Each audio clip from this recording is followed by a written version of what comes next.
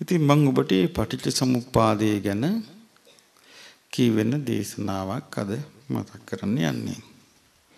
සංයුත්ත නිකායේ අචේල කස්සප සූත්‍රය.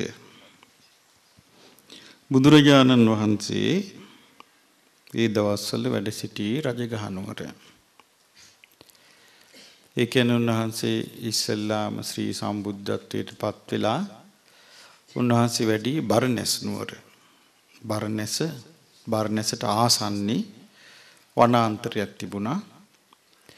ඒ වනාන්තරයට පට බැඳුණු නම තමයි ඔව් ඉසිපතන. ඉසිපතන කියන්නේ ඍෂිවරුන් බහින තැන. එතන මිගදාය මිගදාය කියන්නේ මුවන්ගේ අභය භූමිය. ඒ කියන්නේ වනාන්තරයේ මුව වාසය කළ දඩයන් කරන්න තහනම්. මුවන්ගේ අභය භූමිය. ඒ ඉසිපතනේ තමයි උන්වහන්සේගේ ධර්මය දේශනා කිරීම ආරම්භ වුණේ. ඊට පස්සේ උන්වහන්සේ ආපහු වැඩියා උරුවෙලට උරුවෙල දනව්වට ඊට පස්සේ එතනින් ගයාවට වැඩියා ඊට පස්සේ එතනින් රජගහනුවරට වැඩියා. ඉතින් රජගහනුවරත් ඊට පස්සේ උන්වහන්සේ චාරිකාවේ හැමතැනම වැඩියා. දැන් මේ සිද්ධිය වෙද්දී උන්වහන්සේ වැඩ හිටියේ කොහෙද? රජගහනුවර වේළුවනාරාමේ. වේළුවනේ වැඩ සිටියේ. ඉතින් එදා උන්වහන්සේ රජගහනුවරට පිණ්ඩපාතේ වැඩියා. උදේවරුේ.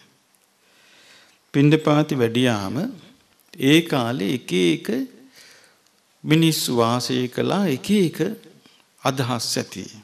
ඒ කියන්නේ හැබැයි පොදු හැඟීමක් තිබුණා. මිනිස්සුන්ට මේ දුකින් මිදෙන්න පිළිවෙලක් සෙවිල්ල. ඒ කියන්නේ දුකක් තිබුණා කියලා දුකක් තියෙනවා කියලා මිනිස්සුන්ට නිකන් ඉවෙන් වගේ තේරුණා. වර්තමාන මිනිස්සයාට ඒක නැහැ. වර්තමාන මිනිස්සයාට තියෙන ගයක් හදාගන්න ඕනේ. රැකියාවක් කරන්න ඕනේ.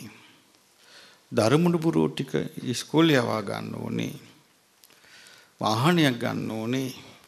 මේ වගේ දේවල් වල නේද අපේ වර්තමාන මිනිස්යාගේ හිත කැළඹි කැළඹි තියෙන්නේ. ඒ කාලේ මිනිස්යන්ගේ හිතේ මේවා තිබුණා නමුත් මෙච්චර සැරේට තිබුණේ ඒ කාලේ මිනිසුන්ගේ හිතවල තිබුණා මේ දුකක් තියෙනවා. මේකෙන් මිදින්න ඕනේ. එතකොට දැන් කාලේ දුකක් තියෙනවා. ඒ දුක මොකද්ද? ගෙයක් හදා ගන්න ඕනේ. රස්සාවක් කරන්න ඕනේ. සල්ලි ටිකක් හොයා ගන්න ඕනේ. ළමයින්ට උගන්න ගන්න ඕනේ. කියලා මේ වගේ දෙයකින් මිසක් මෙතනින් එහා මලාට පස්සේ කොයි කොදෙව්වේ ගියත් කමක් නැහැ. ඒ නිසා වර්තමාන මිනිස්සයාට සම්පූර්ණ තියෙන්නේ ඒක. එතකොට එදා මිනිස්සු අර මේකෙ මිදෙන්න ඕනේ දුකක් තියෙනවා කිව්වහම ඒකට විසඳුම හැටියට මිනිස්සුන්ට ඔළුවට ආවේ කුසල් මොනවාද? කිං කුසල ගවේසි කුසල් මොනවාද කියලා හොය හොය යන්නේක. කිං සච්ච ගවේසි ඇත්ත මොකක්ද කියලා හොය හොය යන්නේක. මේ යුගයේ මොකවත් නැහැ. ඒ සියල්ල ඉවරයි. ඒ යුගෙත් ඉවරයි. දැන් මේ රොඩු බොඩු තමයි තියෙන්නේ. ඉතින් ඒ ඒ කාලේම හොයන්න යද්දී නොයෙක් තපස් ක්‍රම තාපසවරු බිහි වුණා. තාපස ඇදහිලි ශරීරයට දුක් දීම නොයෙක් ආකාරයේ දේවල් බිහි වුණා. සමහර කිව්වා මේ ඇල්ම හට අරගෙන තියෙන්නේ මේ භෞතික වස්තු නිසා මේව ආතෑරපන් කියලා ඇඳුම් පවා ආතහැරියා. එහෙම ආතහැරපු එක්කෙනෙක් හිටියා. එයාගේ නම කස්සප අචීල කස්සප කියලා. මේ අචීල කස්සප බුදුරජාණන් වහන්සේ පිණ්ඩපාතේ වඩින වෙලාවේ එයත් මේ කොහොම හරි රජගහ නුවරට ඇවිල්ලා දැන් රජගහ නුවර එයත් පාරේ යද්දි දැක්කා. කවුද දැක්කේ? බුදුරජාණන් වහන්සේව දැක්කා. දැකලා ඉක්මනින් ගියා බුදුරජාණන් වහන්සේ ළඟට. ගිහින් කිව්වා අනේ බවත් ගෞතමයන් වහන්සේ මේ අනේ බවත් ගෞතමයන් වහන්සේ මට පොඩ්ඩක් අවසර දෙනවා නම් මම පොඩි ප්‍රශ්නයක් අහන්න කැමතියි කිව්වා. එතකොට බුදුරජාණන් වහන්සේ පිළිතුරු දුන්නා කාශ්‍යපය මම මේ පිඬු සිඟා වඩින්න මේ ඇවිල්ලා තියෙන්නේ නගරෙට මේ ප්‍රශ්න වලට උත්තර දෙන්න වෙලාව නෙවෙයි. එතකොට කියනවා අනේ බවත් ගෞතමයන් වහන්සේ මම මේ පොඩි කාරණයක් අහන්නේ මට මේකට අවස්ථාවක් දෙන්න කිව්වා. එතකොට බුදුරජාණන් වහන්සේ දෙවෙනි වතාවෙත් කිව්වා කස්සප මේ මේ ප්‍රශ්න වලට උත්තර දෙන්න වෙලාව නෙමෙයි මම මේ පින්ඩ පාති වඩිනවා නොවේ. තුන්වෙනි වතාවෙත් එයා කිව්වා අනේ භාග්‍යතුන් වහන්සේ මං විශාල විස්තර අහන්නේ කිව්වා. මම මේ පුංචි කාරණයක් අහන්නේ. තුන්වෙනි වතාවෙත් කිව්වහම එතකොට බුදුරජාණන් වහන්සේ අන්න බුදු වැසින් බලනවා. බුදු වැසින් බැලුවේ කුමක් දිහාද? මෙයා දිහා. කස්සප දිහා බැලුවා. බැලුවාම ඔක්කොම ස්කෑන් වෙලා පේනවා. ඒ මොකද්ද මේ බලන බුදු ඇස එක ඥානෙ.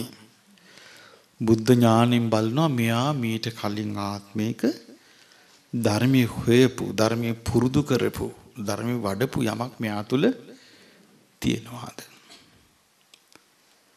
බැලුවාම අන්තුරු ගුහාවක පහන් එලියක් වගේ මෙයාගේ හිතේ මේක තියෙනවා. නමුත් දැන් ඉන්නේ යා වින ආගමක. දැන් ඇඳුනුත් නැහැ. දැන් තාපසෙක් ඇවිද ඇවිද යනවා.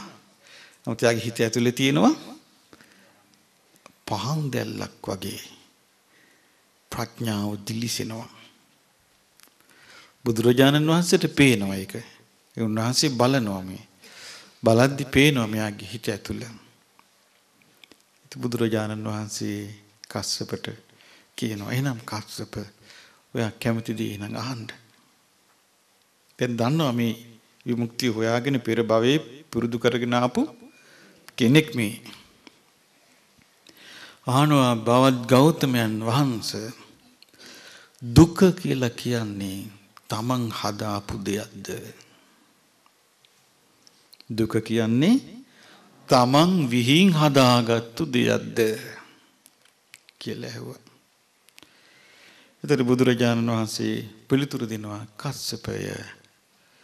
එහෙම කියන්න බෑ. එහෙම කියන්න එපා කිව්වා. එතකොට අහනවා එහෙනම් භාග්‍යතුන් වහන්සේ එහෙනම් බවත් ගෞතමයන් වහන්සේ දුක කියලා කියන්නේ පිටස්තර පුද්ගලයෙක් හදපු එකක්ද දුක කියන්නේ පිටස්තර පුද්ගලයෙක් හදපු එකක්ද? කාශ්‍යපය. එහෙම කියන්නත් එපා කිව්වා. දැන් මේ උත්තර තමයි මේ එන්න හදන්නේ.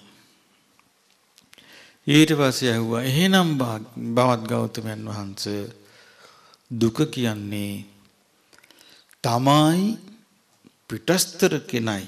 දෙගොල්ලම එකතු වෙලා කරපු දෙයක්ද? එතකොට බුදුරජාණන් වහන්සේ පිළිතුරු දෙනවා කස්සපය එහෙම කියන්නත් එපා. ඊට පස්සේ අහනවා එහෙනම් බවත් ගෞතමයන් වහන්සේ දුක කියන්නේ තමා කරපු එකකුත් නෙවෙයි නං. පිටස්තර පුද්ගලික කරපු එකකුත් නෙවෙයි නම් ඉබේ හටගත්තාද. එතකොට බුදුරජාණන් වහන්සේ පිළිතුරු දෙනවා කස්සපය එහෙම කියන්නත් එපා. දැන් එතකොට හැම එකටම බුදුරජාණන් වහන්සේ මොකද්ද වදාරන්නේ? එහෙම කියන්නත් එපා කියන. එහෙම කියන්නත් එපා කියනවා. එහෙම කියන්නත් එපා කියනවා. එතකොට කස්සප අහනවා ඒ කියන්නේ බවත් ගෞතමයන් වහන්සේ දුක නැද්ද? දුක නැද්ද කියලා අහනවා. එතකොට බුදුරජාණන් වහන්සේ කියන කස්සප දුක නැති නෑ. දුක තියෙනවා කිව්වා. එතකොට අහනවා බෞද්ධ ගෞතමයන් වහන්සේ දුක ඒ තිබෙනා වූ දුක වහන්සේ දකින්නේ නැද්ද? වහන්සේ දන්නේ නැද්ද? එතකොට බුදුරජාණන් වහන්සේ පිළිතුරු දෙනවා කස්සප මන් දුක නොදන්නා කෙනෙක් නෙවෙයි. නොදකින්න කෙනෙකුත් නෙවෙයි. මන් දුක දකිනවා. මන් දුක දන්නවා. එතකොට කස්සප කියනවා බවත් ගෞතමයන් වහන්සේ මේ කියාපු මොකෝවත් මට තේරෙන්නේ නැහැ කිව්වා. මේ කියාපු මොකෝවත් මට තේරෙන්නේ නැහැ කිව්වා. මං ඇහුවා බවත් ගෞතමයන් වහන්සේගෙන් මේ දුක තමන් කරපු දෙයක්ද? එතකොට වහන්සේ කියනවා එහෙම කියන්න එපා. ඊළඟට මං ඇහුවා මේ දුක පිටස්තරයෙක් වෙනත් බාහිර පුද්ගලයෙක් වෙනත් දෙවියෙක් බඹෙක් කරපු දෙයක්ද? එතකොටත් ඔබ වහන්සේ කියනවා එහෙම කියන්නත් එපා. ඊළඟට මං ඇහුවා මේ දුක තමනුත් පිටස්තර පුද්ගලයෙකුත් එක්කහු වෙලා කරාපු දෙයක්ද? එතකොටත් ඔබ වහන්සේ කියනවා එහෙම කියන්නත් එපා. ඊළඟට මං ඇහුවා එහෙමනම් තමනුත් කළා නැත්තම් පිටස්තරයෙකුත් කරලා නැත්තම් තමනුයි පිටස්තරය එකතු වෙලත් කළා නැත්තම් මේ දුක ඉබේ හටගත්තු දෙයක්ද? එතකොට ඔබ වහන්සේ ඒකටත් කියනවා එහෙම කියන්නත් එපා. ඊට පස්සේ මං ඇහුවා දුක දුක නැද්ද? කියලා. එතකොට ඔබ වහන්සේ කියනවා කස්සප දුක නැත්තේ නෑ. දුක තියෙනවා. ඊට පස්සේ අහනවා එහෙනම් ඔබ ඔබ වහන්සේ එතකොට කියන කස්සප කියන ඊට පස්සේ මං ඇහුවා ඔබ වහන්සේ මේ දුක දන්නේ නැද්ද? ඒ දුක දකින්නේ නැද්ද? එතකොට ඔබ වහන්සේ පිළිතුරු දෙනවා කස්සපය මං දුක නොදන්න කෙනෙක් නෙවෙයි. දුක නොදකිනා කෙනෙකුත් නෙවෙයි. මං දුක දන්නවා දුක දකින්නවා අනේ බවත් ගෞතමයන් වහන්සේ මට තේරෙන්නේ. ඊට පස්සේ කියනවා මට දුක ගැන වදාරන සීක්වා කිව්වා. මේ මේ මේ වගේ චරිතවලට කියන්නේ මහා පිං ඇති චරිත මේ මේ පාරේ ඒ කාලේ ඔය ඇත්ත හොයාගෙන ඔය ගස් මුල් ගස් ගල් වල යට ඉඳගෙන ඇඳුමක් කැඩුමක් නැතුව මදුරුව කකා සීතලේට සීතලෙන් විඳෝ විඳෝ රස්නට රස්ටින් විඳෝ විඳෝ දූවිලි නාගෙන ওই ඇවිද ගිය මිනිස්සු ඒ මිනිස්සුන්ට ගාන්න සෑන් පවුඩර් හෙව්වේ නැහැ. සබන් වර්ග හෙව්වේ නැහැ. හොඳ වස්ත්‍ර හෙව්වේ නැහැ. හොඳ සපත්තු හෙව්වේ නැහැ. සත්‍ය හෙව්වේ. ඒ මිනිස්සු උදෙසායි බුදුරජාණන් වහන්සේ පහළ වුණේ. සත්‍ය හොයාගෙන නැහැ උදෙසා පහළ වෙන්නේ. එතකොට බුදුරජාණන් වහන්සේ ඔන්න කරුණු දේශනා කරන්න ගන්නවා. කස්සපය බුදුරජාණන් වදාලා කස්සපය යමෙක් කිව්වොත් ඔහු කරයි. ඒ කියන්නේ දුක කරන්නේ කෙනෙක්. ඔහුම විඳී කියලා කිව්වොත් මොළේ ඉඳලා පටන් ගත්ත තැන ඉඳලා තමා විසින් කරගන්න දුකක් කියලා මේ කල්පනා කළොත් සස්සතං ඒතම් පරේති. යා මේක සාස්වතයි කියලා. ඒ කියන්නේ හැමදෑම තියෙන පැවැත්මක්ය කියලා. යා මේක අල්ල ගන්නවා කිව්වා. මේක හැමදෑම තියෙන පැවැත්මක් කියලා අල්ල ගන්නවා කිව්වා. දුක බාහිර කෙනෙක් කළා අඤ්ඤ අඤ්ඤෝ කරෝති වෙන කෙනෙක් කළා අඤ්ඤෝ පටිසංවේදීති වෙන කෙනෙක් විඳවනවා. එහෙම කිව්වොත් මේකේ තියෙනවා වේදනාපි තුන්නස්ස සතෝ ඒ විඳීමට යටවෙච්ච කෙනා දුක අනුන් විසින් කරන ලද්දේය ඒ කරපු දුක මේ ආත්මයෙන් පස්සේ ඉවරයි කියලා උච්ඡේදයට යනවා කිව්වා. එතකොට මේ ලෝකේ පින්වත්නි අදටත් මේ ලෝකේ තියෙන ওই දෙක තමයි. මොකක්ද මේ දෙකට කියන්නේ? ඔව් සාස්වත උච්ඡේද. සාස්වත කියන්නේ හැමදෑම පවතින ආත්මයක් තිබේ කියලා කීම. ඒ කියන්නේ මරණින් මත්තේ මෙරි මෙරි ඉපදී ඉපදී මෙරි මෙරි ඉපදී ඉපදී අවසන් වෙන්නේ කියලා කීම. ඒක මිත්‍යා දෘෂ්ටියක්. ඒක මොකද්ද? මිත්‍යා දෘෂ්ටියක්. ඒක වැරදි දැක්මක්. වැරදි දැක්මක් වැරදි වැටහීමක්. තව පිරිසක් කියනවා මලාට පස්සේ නෑ. මරුණට පස්සේ මුකුත් නෑ. ඒකට කියනවා උච්ඡේද. උච්ඡේදය කියලා කියන්නේ නැතිවීමට, සිඳීමට, අවසන් වීමටපත් වෙනවා කියන එක. එතකොට මරණින් මත්තේ නැසීමට යනවා කියන එක උච්ඡේදේ. මේ දෙක තුල තමයි මේ ලෝකේ මිනිස්සු ග්‍රහණය වෙලා ඉන්නේ. මේ දෙකට.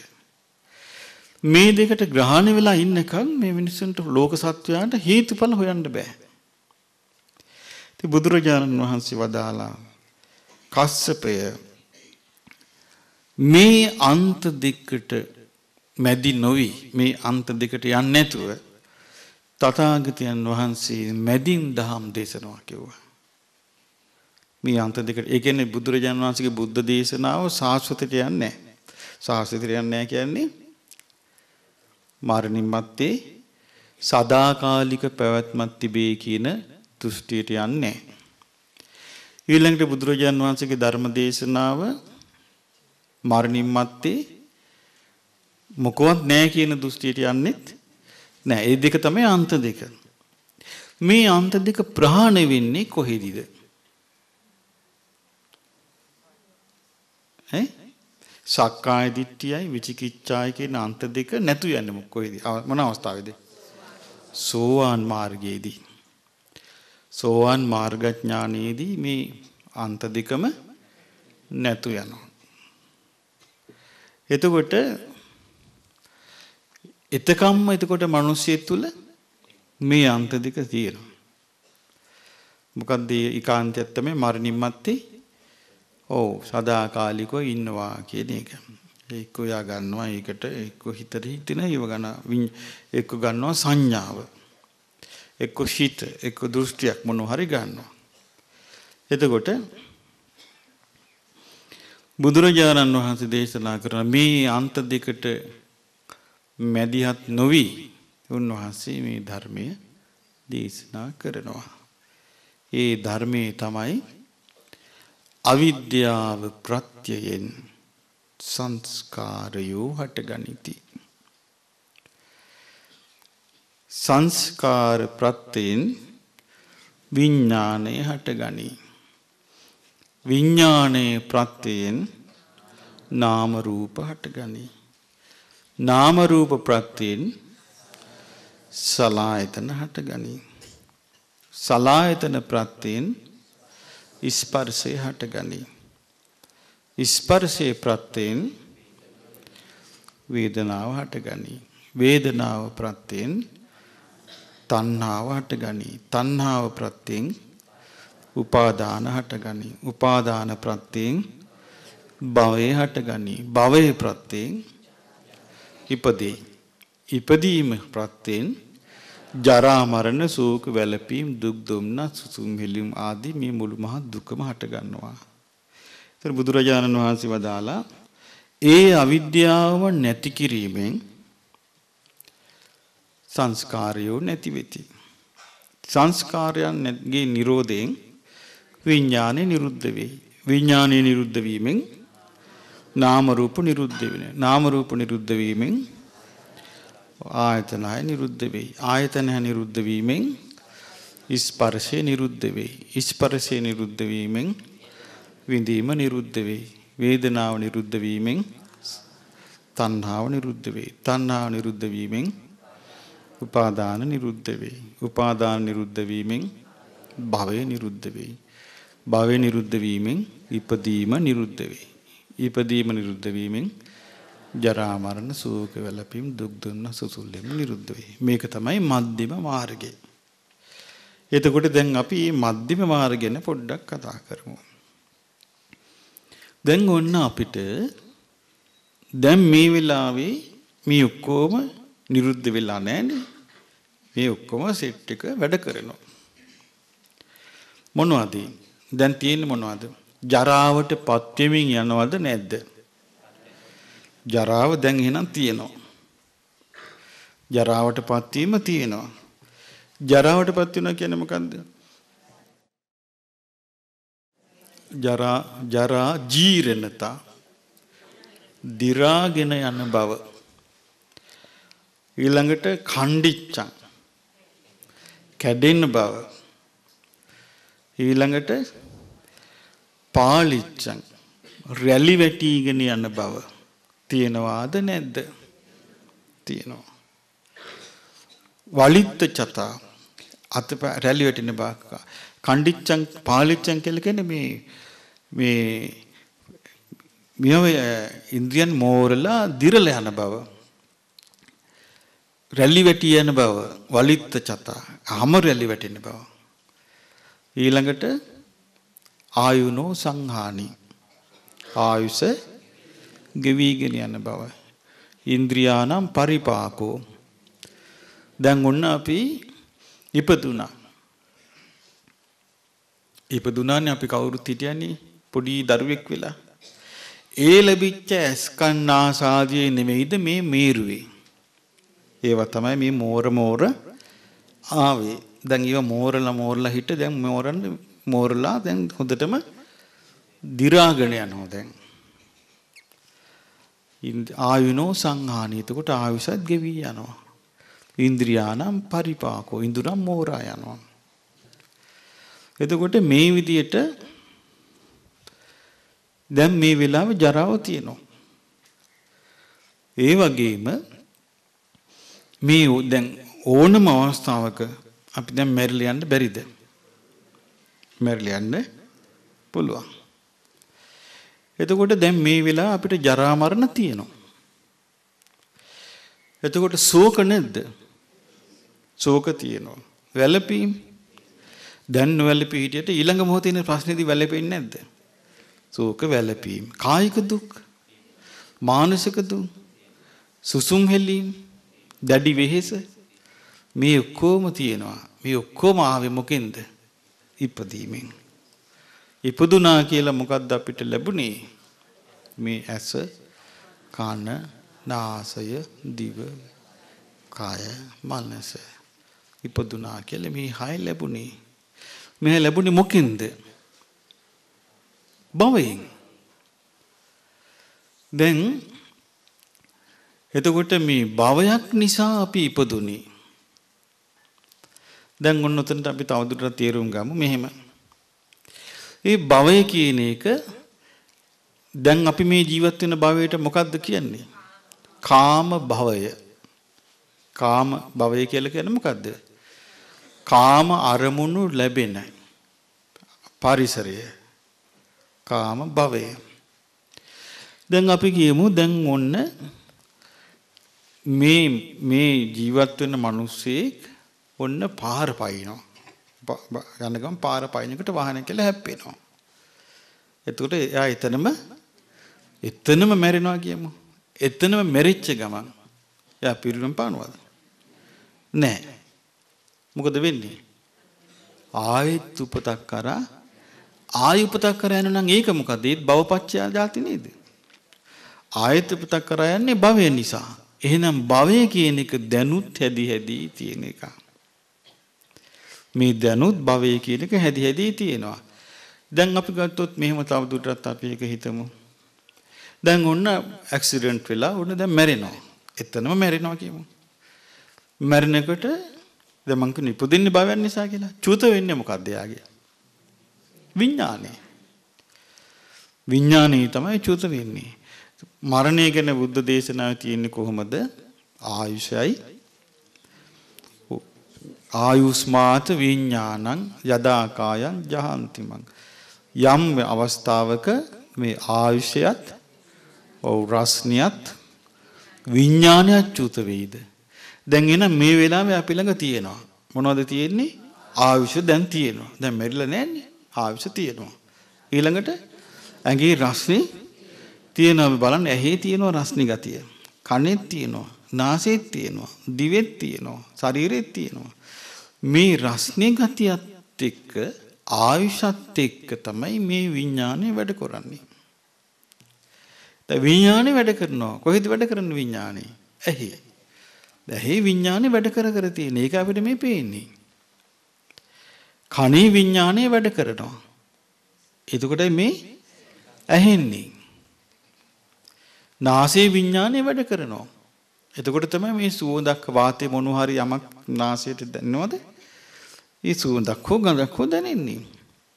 දිවේ විඥානේ වැඩ කරනවා. මේ මොහොතේ ඔබ මොනු හරි කටට දාගත්තොත් ඒකේ තියෙන මොනු හරි රසයක් තිත්තක් හෝ පැණි රසක් හෝ කහටක් හෝ දිවට දැනෙන්නේ නැද්ද? ඒ දිවේ විඥානේ වැඩ කර කර තියෙන්නේ.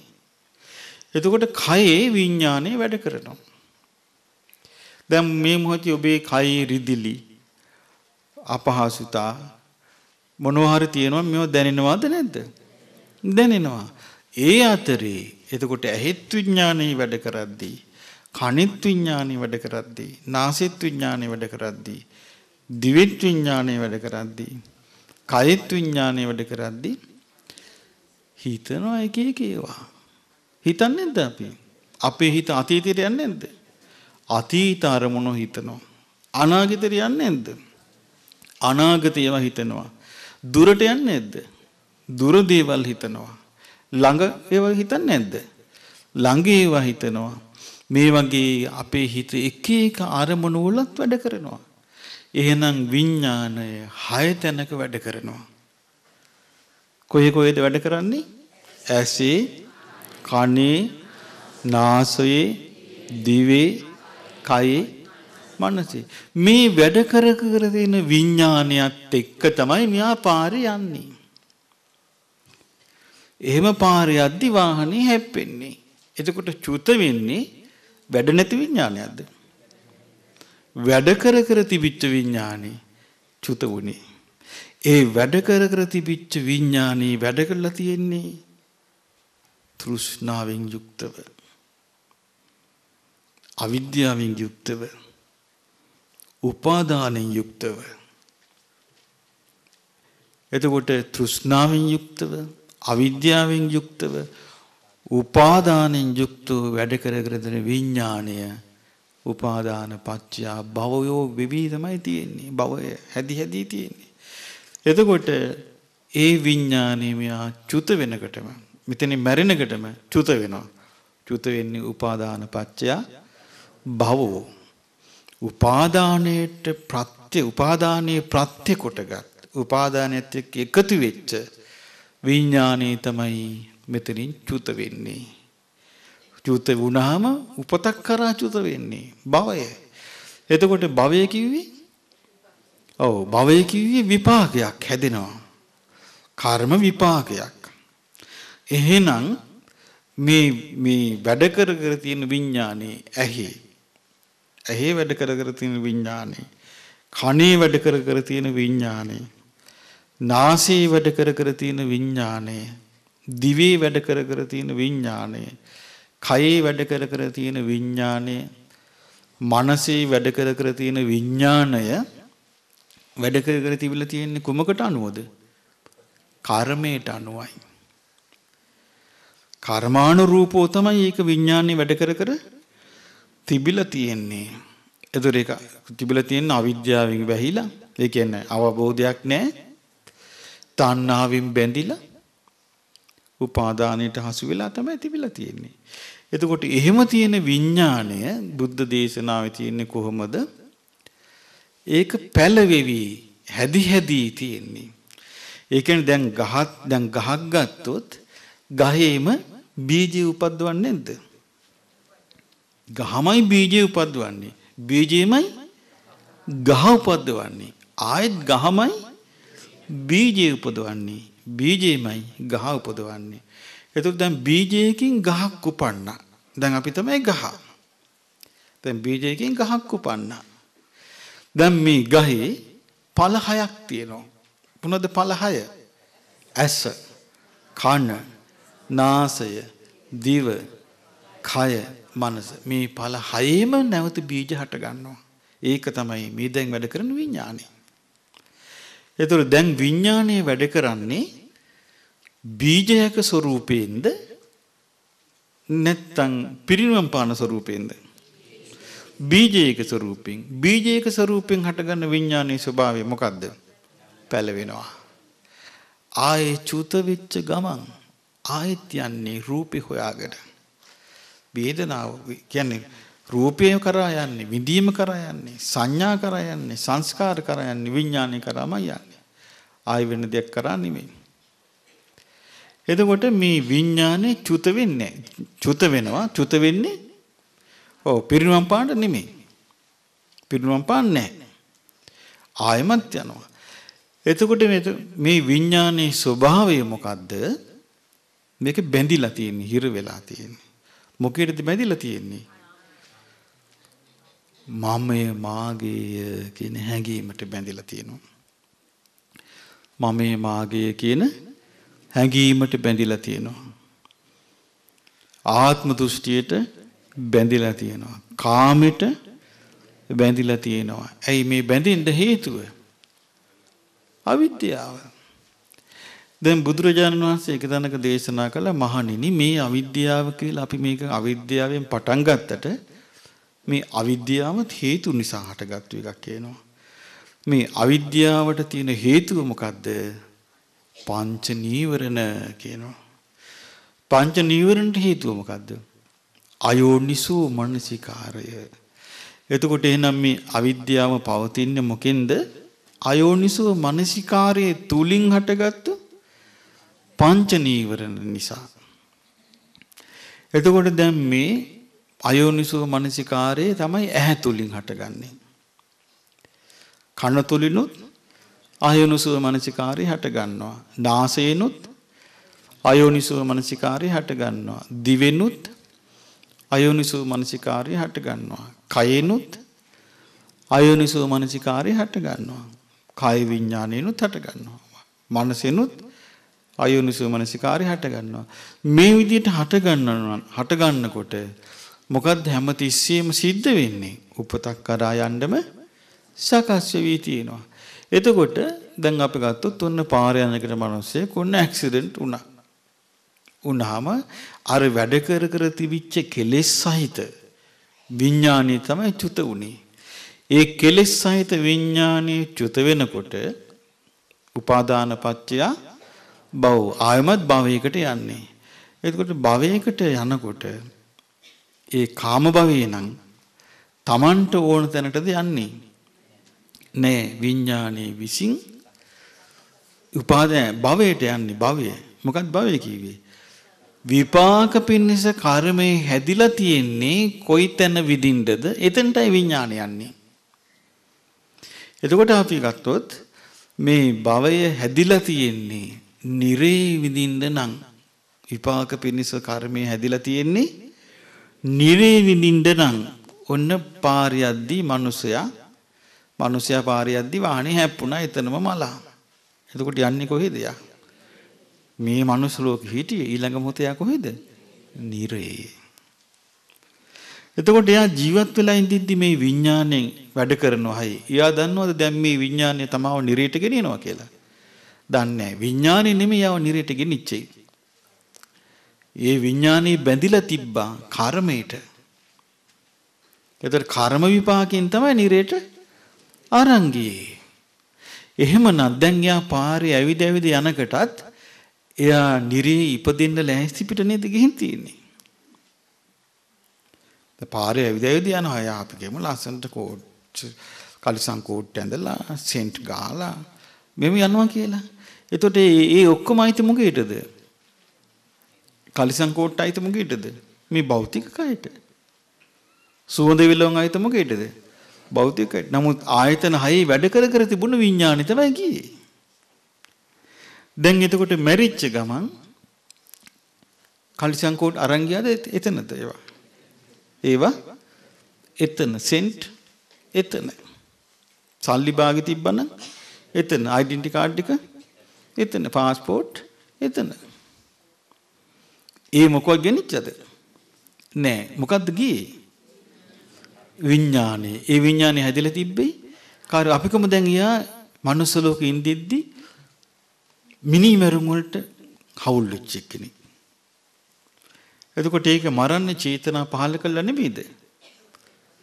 ආන්න ඒ චේතනාව තමයි කර්මය. එයා හොරකම් වලට හවුල් වෙච්ච කෙනෙක්. එතකොට හොරකම් කරන චේතනා පහල කළා නෙමෙයිද? චේතනා පහල කළා. අන්න චේතනාව කර්මය. වැරදි කාම සේවනයේට අහුවෙච්ච කෙනෙක්. ඒ වැරදි කාම සේවනය කරන්නේ චේතනා පහල කළා. අපි කියමු බොරු කීමට අහුවෙච්ච කෙනෙක්.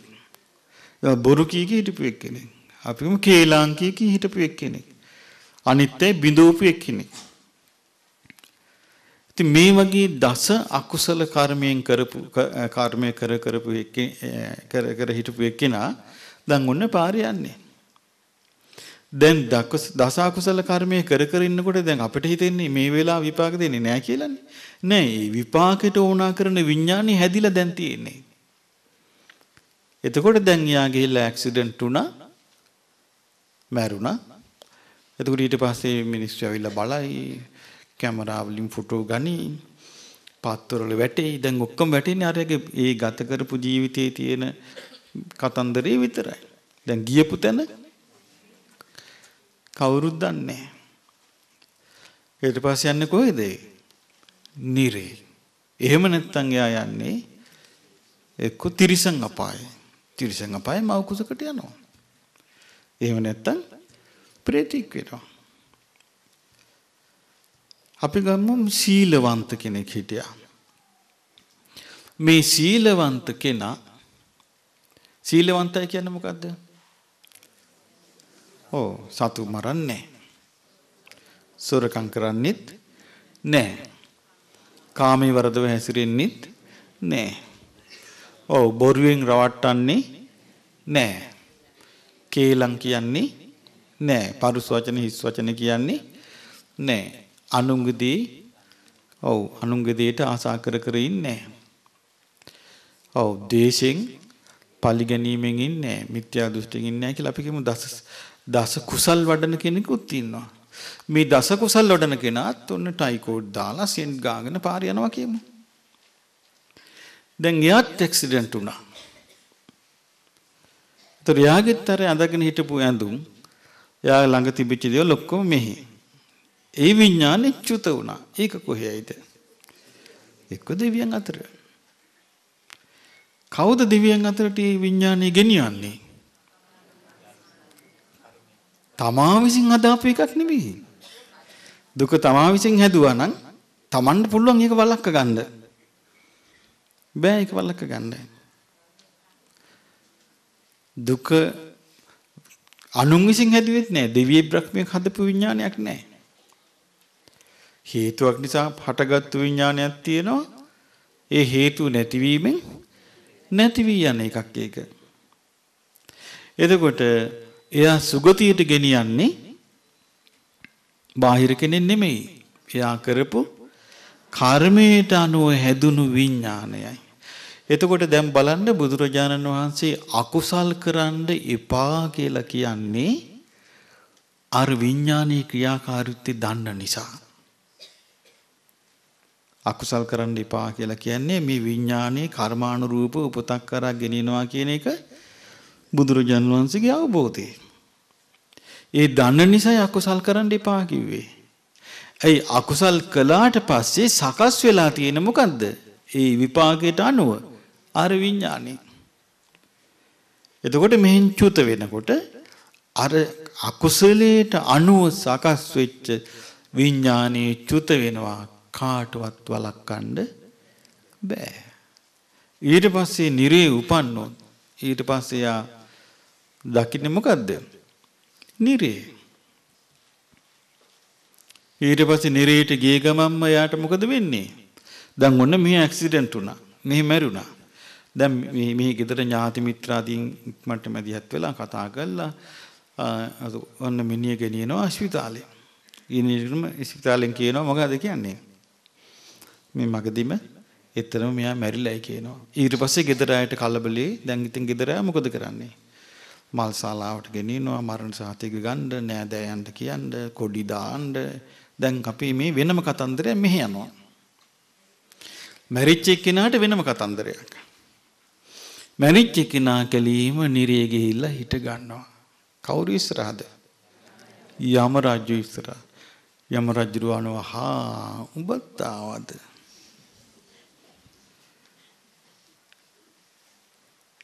මෙහි අපි ඔරින්ජම් බාල්ලි බෝතල් කඩනවා නෑදෑයන්ට දෙන්න.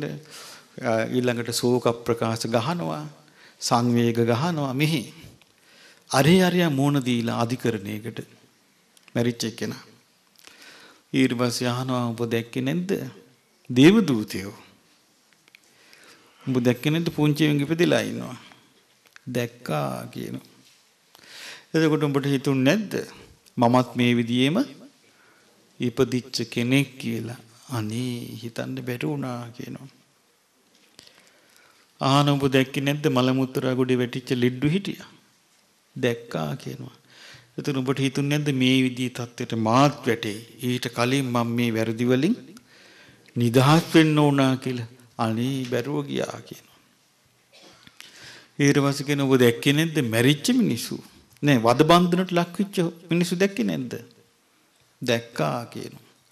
එතකොට ඔබට හිතුන්නේ නැද්ද මගේ මේ කටයුතුත් අහු වුණොත් මාත් මේ වගේ වෙනවා කියලා පොඩ්ඩක් පරිසං වෙන්න හිතුන්නේ නැද්ද? අනේ අමතක වුණා කියනවා. ඔබ දැක්කේ නැද්ද මෙරිච්ච මිනිස්සු? යම රජු අහනවා. දැක්කා කියනවා. එතකොට ඔබට හිතුන්නේ නැද්ද මමත් මැරිලා යනවා. මං ඊට කලින් මේ අකුසල් වලින් වලකින්න ඕනේ කියලා හිතුන්නේ නැද්ද? අනේ බැරි වුණා කියනවා. ඊට පස්සේ යම රජුරු මොකද්ද කියන්නේ? එහෙනම් මේ මේ දේවල් උඹ කළා කියලා ඔක්කොම ලිස්ට් එක කියනවා. මේ මේ දේවල් උඹ යතින් වුණා කියලා. කිව්වට පස්සේ බඩුත් එක්ක හොරු අහුණානේ. ආයෙ නිදහස් වෙන්න තැනක් නෑ. ඇයි තමන්ගේ හිතේ ඔක්කොම තියෙනවනේ රෙකෝඩ් වෙලා. මේ රෙකෝඩ් එකනේ අර කියවන්නේ. ඊට පස්සේ කියනවා මේ කරපු දේවල් නුඹේ මව්පියෝ කරපුවා නෙවෙයි. නුඹේ ගුරුවරු කරපුවා නෙවෙයි. නුඹේ ඥාති මිත්‍රාදීන් කරපුවා නෙවෙයි. නුඹේ ස්වාමියා බිරිඳ කරපුවා නෙමෙයි දරුවෝ කරපුවා නෙමෙයි නුඹම කරපුවා. ආන්න අතන්ට පළ කියනවා. ගේට්ටු ඇරෙනවා. ගින් ගොඩට යනවා. මෙහි ඉතින් අපි බලනවා මේ යාමී කරපු සේවය යනුව පොඩි මිනි පෙට්ටියක් නම් බෑ. ඔව් ටිකක් ගණන් පහේ එකක් ඕනේ. හොඳට සරසන්න ඕනේ. මේ අපි සැලකිලි සම්මාන ඔක්කොම දෙන්නේ විඥාණයටද? නෑ. මේ කුණු වෙලා යන භෞතික කයකටයි. පුද්ගලයා කර්මානුරූපව ඉපදිලා එතකොට අර පුද්ගලයා දස කුසල් වැඩූ කෙනා ඔන්න දෙවියන් අතරට යනවා. දෙවියන් අතරට ගියාම දෙවිවරු පිළිගන්නවා. යාන්තම් ඔබත් පැනගත්තා නේද? යාන්තම් ඔබ මෙතනට පැනගත්තා. ඔබ යාන්තම් බේරුණා. ඔබ දසමින් බේරුණා. කියනවා පින්වත් දිව්‍ය පුත්‍රය. ඔබ යන්තම් බේරුණා. ආයෙ ওই වලේ වැටෙන්න යන්න. එපා. ඔබ දැන් ඉතින් ඉක්මනින් ආරි සත්‍ය අවබෝධ කරගන්න බලන්න කියලා ආරලි දෙවිවරු කියන්න ගන්නවා. ඔබ යන්තම් බේරුණා කියලා. එතකොට මෙයා කියනවා අනේ මම බේරුණේ බාහිර හාස්කමකින් නෙවෙයි. මා විසින් අකුසලින් වැළකුණා. මම කුසල් රැස් කළා. මේ රැස් කළ පුණ්‍ය බලයෙන් මම මේ යන්තම් අපායට වැටෙන්නේ නැතුව මෙතනට ආවේ කියලා. ඕන්න බේරිච්චාය. එතකොට මෙහෙම යන සසරේ මේ එතකොට ඒ දෙවියන් අතරට යන්නත් දෙවියන් අතරට යන්න උපකාරී වුණේ යා රැස් කරපු කර්මය, පුණ්‍ය කර්මය. නිරයන් උපකාර වෙන්නේ යා රැස් කරන පාප කර්මය. එතකොට මේක පුද්ගලික කරන එකක් නෙමෙයි. පුද්ගලික කරනවා තමා විසින් කරන එකක් නෙවෙයි. අනුන් විසින් කරන එකකුත් නෙමෙයි. තමා අනුනුයි එකතු වෙලා කරපු එකකුත් නෙවෙයි. ඉබේ හටගත්තු එකකුත් නෙවෙයි හේතුවක් තිබුණා. ඒ හේතුවෙන් තමයි ඒ ඵලේ හටගත්තේ. එතකොට තෘෂ්ණා සහගතව උපාදානයන්ගෙන් යුක්තව තමයි මෙයා හිටියේ. දැන් අපි පින් කරද්දී මේ ඒ ස්වභාවය වෙනස් වෙලාද අපි හිතේ? නෑ. ඒව වෙනස් වෙන්න පටන් ගන්නේ ආර්ය අෂ්ටාංගික මාර්ගයට වැටුණු දවසේ ඉඳලයි. ආර්ය අෂ්ටාංගික මාර්ගයට වැටෙන්නේ අපි සම්මා දිට්ඨියෙන්. සම්මා දිට්ඨියේ ඉඳලා තමයි වෙනස් වෙන්න පටන් ගන්නෙ. එතකන් අපිට මේ මේ ප්‍රශ්නෙට මූණ දිදී යන්න ඕනේ. දැන් ඔන්න අපි මං කිව්වේ අපි කවුරුත් පෙර ආත්මේ මැරුණා. ගිය ආත්මේ මලානේ අපි. ඒතර ගිය ආත්මේ මැරිලා අපේ විඥානේ චුත වුණා. දැන් ගිය ආත්මේ මොනවා හරි වෙලා අපි දන්නේ නැහැ කියන්නේ වයසට ගිහිල්ලා මැරුණාද? වහ කාලා මලාද ගඟේ මූදි වැටිලා මැරුණාද? අපි මුකුත් දන්නවද දැන් මතකද? මුකුත් මතක නැහැ. අපි කොහේ හරි ඉඳලා මැරුණා. මැරිලා දැන් මේ මනුස්ස ලෝකෙට අපි ආවා. මේ මනුස්ස ලෝකෙට අපි ආවේ එතකොට කුමක් අනුවද? කර්මානුරූපව. එතකොට චුත වෙච්ච දෙයක් තමයි ආවේ. චුතෝනිය මොකද්ද? විඥානය. එතකොට විඥානයේ මනුස්ස උපතක් කරා යනකට ආවේ කුමක් කුමක් නිසාද උපන්නේ? භවය නිසා. විපාක පිණිස කර්මයේ හැදිලා තිබෙච්ච නිසායි අපි උපන්නේ. එහෙනම් උපතට සම්පූර්ණයෙන්ම බලපාන්නේ කර්ම විපාකේ. එතකොට මේ කර්ම විපාකයට අනුව තමයි නාම රූප හැදුනේ. දැන් ඔන්න මව කුසට ආවා. මව කුසට ආවට පස්සේ ඔන්න මව කුසේ සතර මා ධාතුන්ගේ ක්‍රියාකාරීත්වයට අනුව ඊළඟට නාම රූපයන්ට අනුව කර්මානුරූප ඇහැ හැදුනේ මව කුසේ ඇතුළේද පිටද? මව කුසේ ඇතුළේ තමයි මේ මේ බල නැහැ හැදුනේ. මව කුසේ ඇතුළේ තමයි මේ අහන කන් දෙක හැදුනේ. මව කුසේ ඇතුළේ තමයි මේ නාසය හැදුනේ. මව කුසේ ඇතුළේ තමයි මේ දිව හැදුනේ මව කුසේ ඇතුළේ තමයි මේ ශරීරේ හැදුනේ. එතකොට මේ ආයතන හයම මව කුස ඇතුලේ හැදිලා තමයි පිටට ආවේ. එතකොට මේ හැදුනේ ඒ මව මව කන ආහාර පාන ආදීන්ගේ උපකාරය ඇතුව හැදිච්ච එකට බලපෑම අර විඥානයයි නාම රූපේ සම්බන්ධයෙන්. එතකොට සම්පූර්ණ කර්මානුරූප වූ ඇස් දෙකක් මේ තියෙන්නේ. කර්මානුරූප වූ කන් දෙකක් මේ තියෙන්නේ. කර්මානුරූපව ලැබිච්ච නාසයක් තියෙන්නේ. කර්මානුරූපව ලැබිච්ච දිවක් තියෙන්නේ. කර්මානුරූපව ලැබිච්ච කයක් තියෙන්නේ. කර්මානුරූපව ලැබිච්ච හිතක් තියෙන්නේ. කර්මානුරූපව ලැබිච්ච දේ තුල ඊට වඩා දෙයක් එයාට එකෙන් බිහි කරන්න බෑ. ඒ කියන්නේ දැන් බුද්ධ දේශනාවේ තියෙනවා යෝනිසෝ මනසිකාරය ගැන ඒක අභ්‍යන්තර අංගයක් කියනවා. අභ්‍යන්තර අංගයක් කියන්නේ තමා ඇතුලේ තියෙන එකක්. ඒක උපතින් එන්න ඕනේ. එහෙනම් යෝනිසෝ මනසිකාරය කියන එක කර්මානුරූප එකක්. ඒක බාහිරින් බලෙන් ගන්න බෑ. දැන් මේ අචේල කස්සප දැන් ඔන්න කොහේ හරි කර්මානුරූප ඉපදුනා. දැන් බුදුරජාණන් වහන්සේගේ ධර්මය අහන්න ලැබිච්ච නැති අවස්ථාවක එයාට කවුරු හරි තාපසයෙක් කිව්වා මේ උඹ ඔක්කොම අතහැරපන් මේ මම මේ ඉන්නවා වගේ නග්නව ඉඳගෙන තපස් කරපන් ඔබට නිදහස් වෙන්න ඕනේ පුළුවන් කියලා. මෙයා මේක පටන් ගත්තා. නමුත් මෙයාගේ හිත ඇතුලේ තියෙනවා මොකද තියෙන්නේ? යෝනිසෝ මනසිකාරය. අන්න කර්මානුරූපව හැදිච්ච එක තියෙනවා. කර්මානුරූපව හැදිච්ච එක තියෙනවා දැන් හිතේ. එතකොට යෝනිසෝ මනසිකාරය තියෙනවා. ඔන්න මුණ ගැහෙනවා. කවුද මුණ ගැහෙන්නේ? කල්යාණ මිත්‍රයා. කවුද කල්යාණ මිත්‍රයා? බුදුරජාණන් වහන්සේ කල්යාණ මිත්‍රයා. ඔන්න බුදුරජාණන් වහන්සේ මුණ ගැහෙනවා. මුණ ගැහිච්ච ගමන් ඔන්න බුදුරජාන් වහන්සේගෙන් ධර්මය ඇහෙනවා. ධර්මයේ ඇහෙනකොට හිතේ තිබිච්ච යෝනිසෝ මනසිකාරය වැඩ කරන්න පටන් ගන්නවා. එතකොට දැන් බලන්න හිතලා දැන් ඔන්න අපි උපන්නා. ඇස, කන, නාසය, දිව, කය, මනස. බුදුරජාණන් වහන්සේ දේශනා කරපු සූත්‍රයක් තියෙනවා නව පුරාණ සූත්‍රය කියලා. ඒකේ කියනවා මහණෙනි ඔබලාට අලුත් කර්මය ගැනත් කියන්නම් පරණ කර්මය ගැනත් කියන්නම් කියලා කියන මහණෙනි මේ යම් ඇසක් ඇද්ද යම් කනක් යම් නාසයක් යම් දිවක් යම් කයක් ඇද්ද ඒකුයි ඇස කන නාසය දිව කය යම් මනස මනසක් ඇද්ද එතකොට කීයද 10 මහණෙනි මේ පැරණි කර්මයයි කියනවා. එතකොට බුදුරජාන් වහන්සේ මේ හයට මොකද්ද කියන්නේ?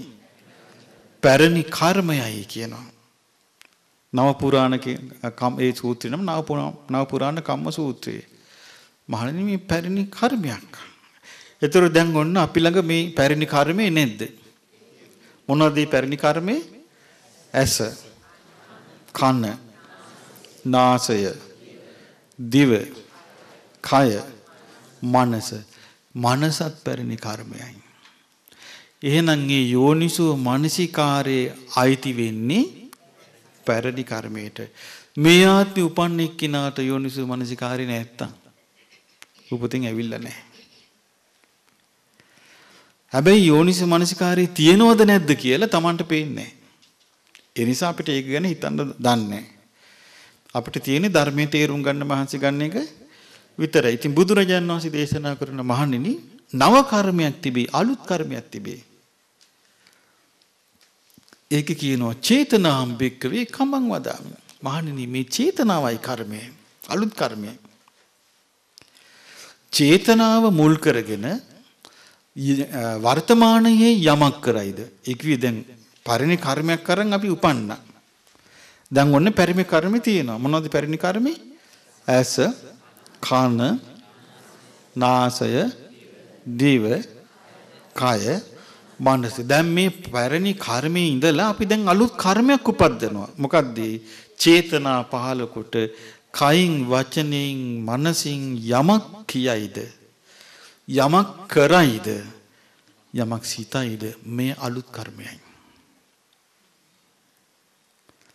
එතකොට යමක් කියයිද? යමක් කරයිද? යමක් සිතයිද? මෙය අලුත් කර්මයයි. හරි දැන් පැරණි කර්මයේ පිහිටලා අලුත් කර්ම කර කර නැද්ද අපි? අපි පැරණි කර්මයේ පිහිටලා අලුත් කර්ම කරනවා. එතකොට මේ අලුත් කර්ම නිරුද්ධ වෙන්නේ කොයිද? බුදුරජාණන් වහන්සේ දේශනා කරනවා මහණෙනි යම් තැනක ආර්ය අෂ්ටාංගික මාර්ගයේ දියුණු කොට කර්ම නිරෝධය ස්පර්ශ කරයිද මෙතන කර්මෙන් නිදහස් වීමයි. කර්ම නිරෝධය ස්පර්ශ කරයි කියලා කියන්නේ රහත් ඵලය. එතකම් මේක හැදි හැදි යනවා මේකේ පාලකයා එතකොට මේකේ රිමෝට් කන්ට්‍රෝල් එක මොකද්ද? කර්මයයි. කර්මයෙන් තමයි යාව එහාට මෙහාට ඇදගෙන යන්නේ. කර්මයෙන් තමයි මේ සත්වය එහාට මෙහාට අදගෙන යන්නේ. අපේ වෙලාවට කලින් ආත්මේ මැරිච්ච වෙලාවේ මේ ආත්මෙට මනුස්ස ලෝකෙට ගෙනාවා. මිනිස් මව කුසට. ගෙනලා ඔන්න ආයතන හයක් බිහි කළා දුන්නා. ඔන්න පැරණි කර්මය.